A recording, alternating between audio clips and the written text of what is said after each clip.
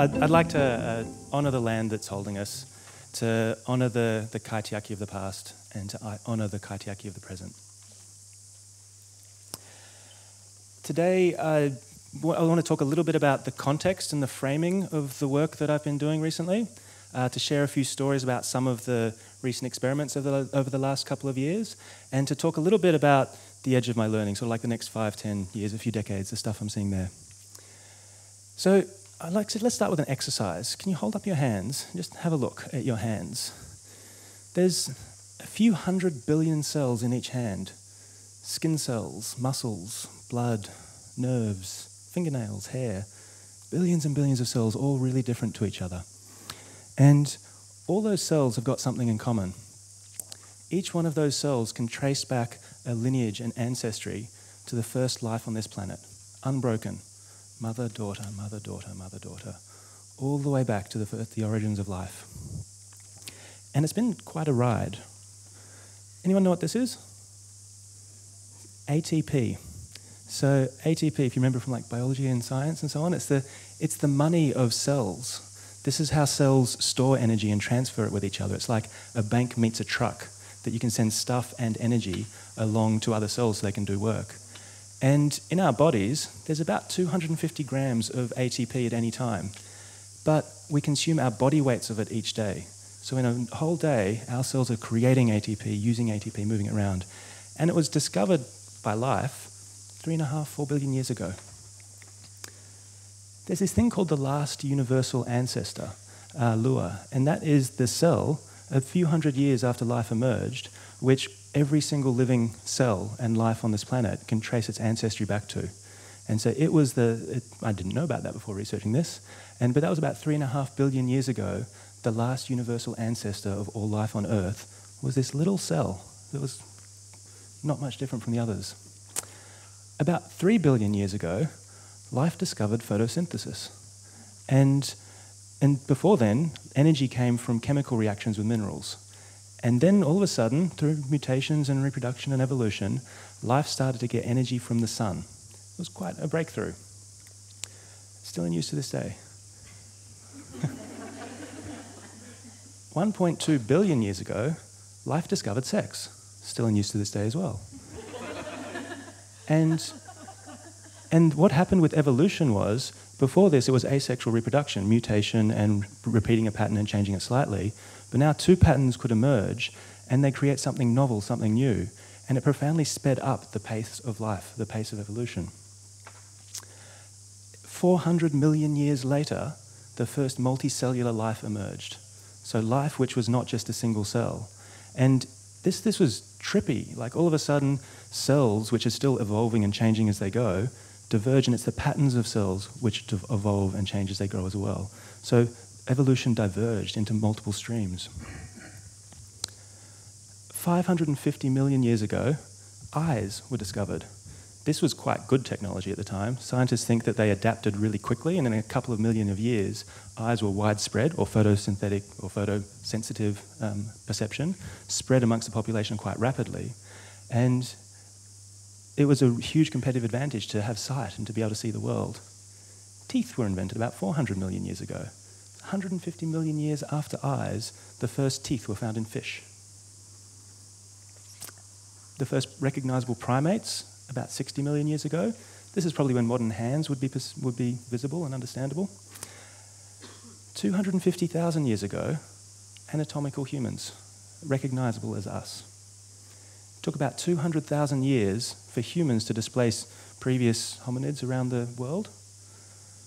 And about 10,000 years ago, at the beginning of the Holocene, we discovered agriculture and we started to cultivate life. And then rocket ships. and so, in the last 10,000 years, something's happened. And over this whole trend of evolution, you can see the pace of life, the pace of it's, it's, it's, it's growing, the speed is increasing. Every word I'm saying now has a lineage that is traceable back to the first grunts of our ancestors. And so the ideas we say, the, the combination of our words, money, legal structures, governments, all of those concepts and ideas, they have a lineage as well. And what I think has happened as humans have evolved is that evolution has kept going and it's moved beyond cellular life to multicellular life to knowledge, a world which lives only inside of our heads, which is free from the laws of physics. And that, I think, is a huge part of the story of the rapid evolution of ideas because it's just patterns which are evolving and changing. It's like footprints in our consciousness, where if all of a sudden all of our minds turned off, that whole realm of existence would just disappear. It's held by us living and breathing. Languages live, languages die, ideas live, ideas die, they evolve. I think in some sense it's less of us having ideas and ideas having us. And at this point, it feels like humans, us fallible, grown up creatures, uh, have become partners, at partners with evolution, partners with life. We are no longer just the products of evolution, we are co creating it, which I think is kind of scary because we're not very good at it. And, but I think we should also be generous with ourselves in that it, we've only been at this for a few hundred thousand years and life's had a few billion, so you know, give us a break. But when I look at human design systems and compare them to naturally evolved systems, they are horrible, ugly, ineffective things. And that's the context of my work, because most of my work is in designing and implementing organizing systems. So, groups of people working together. And I, I think of this and I imagine this work as multi human life forms, social life forms, um, organisms which have traits and attributes and, and so on. And my, my work is I'm trying to understand this, trying to design this, trying to contribute to this uh, collective evolution of ideas. So, one thing I found is really useful in this work is to categorize it because you know a small group of people is really different to a big group of people and at some level the scale of things really matter. So one of the things this year i've started to do is to talk about uh, individuals pods communities and networks as levels of organizing and i use them to categorize thinking and ideas for different way different organizing systems. At the heart of any organization or organizing system is people and it's such a if you can take one system and replace all the people in it with another group of people, you'll have a completely different dynamic. It's that you can't separate the two. So our individual growth is deeply entwined with our collective growth. We can't have one without the other. The people who build the house are built by the house. And I don't think you can separate personal work from collective work and organizational design. This pods, the idea of small teams between 3 to 12 people or so, this has been one of the most effective practical strategies for me in the last year. Whenever there is something wrong in our systems, in our collective organizations, strong pods is a really good way to fix it. Whenever there's someone who's struggling or needs support, getting them in a strong team is a really good way to fix it. And a lot of the processes and social tools and technolo- technological tools uh, at this small team level are really useful ways of doing things. And that, that's not that revolutionary, right? Like most organizations do stuff in teams and organize them and whatnot. And so we're starting to play with things around how can you use pods as like the cellular structure of an organization so that there's a lot of independence and autonomy. One of the things we've been experimenting with at, with at Dev Academy is the idea of uh, you have pods, three pods, teaching, consulting, support, but then we have a product agreement. So every piece of revenue that comes into the com- company is structured by an agreement between the pods. So money is automatically transferred to the pod's control. So you can start to decentralize to pods quite strongly and then have a very emergent system which re- removes whole levels of management, whole levels of structure, whole levels of, of energy in the system just by uh, devolving decision making and, and money down to pods straight away. And there's a whole realm of stuff to explore in this space. Community is probably where we've done the most research at Enspiral. And when I think about community, I think about groups between a dozen to a few hundred people uh, that have a, a, permeable boundary. They're easy to join and um, hard to stay. And it's quite important to structure communities that way, where anyone can show up and say hi and get to know you and so on. But there's this gentle tug, there's this gentle current tugging people out of community so that they need to expend energy, they need to decide to be there, they need to choose the community actively. And quite often I've had a lot of people say, wow, so many awesome people are Enspiral. That's the reason why, is because this gentle tugging away from community so people have to actively decide and choose. Another thing I found that works really well at community is structuring it with the idea of contributors and kaitiaki, or stewards. And the idea is that anyone can show up and start participating and it's quite open and transparent, but then there's a group of people who hold that community, who are the stewards of it, who protect it, who nurture it, who care for it, who dream about it. And this idea of kaitiaki is when, when people have been around for a long time and they actively choose and the community chooses them, it's a really powerful ritual to welcome someone and then say, Will you care for this community alongside me? Networks uh, sort of where we're starting to explore our thinking now. And the idea here is having permissionless protocols where you can start to engage with groups of people at much more scale because community is such a human experience, it's such a close experience, but it's also a small experience. You can't double the size of community and have the same experience. The only way to organize at bigger scale is through networks and connection between communities and individuals and pods. So we're starting to explore a lot of things now about how we grow. And when you look at the natural world, there's sort of sexual reproduction and asexual reproduction. And I think there's a real place for growth for both. So when we look at Loomio, for example, that was the Occupy movement and culture and people meets Enspiral and tech entrepreneurs. And something new and novel is born from that. We both contributed quite a lot to that. When I look at Dev Academy, that was Dev Bootcamp in San Francisco and Enspiral in New Zealand, collaborating and deeply entwining our information patterns and our habits and our culture and our people to create something new. It's a really powerful way, and I think it's a faster way to innovate. But likewise, if you don't want your liver cells experimenting too much, you kind of want them to do what they're designed to do in their system. So there's a, there's a role for asexual reproduction, for just follow the pattern, mutate it, adapt it, evolve, but evolve slower. And so we're really starting to explore, as new communities um, come into an Enspiral, how do we how can we have a relationship with someone's with a, with a small group of people where there is a power information and resource asymmetry and say how can we have a generative co-creation with you which involves us holding back a lot and us leaving them space and sharing but following their lead until they get stronger and we can have a more robust relationship and uh, th- then there's also a place for when we take our patterns and they, and they sort of get re- followed quite closely. So this is a real delicate area of research. I haven't mentioned legal systems or finances at all. Uh, that's because I think they're largely immaterial.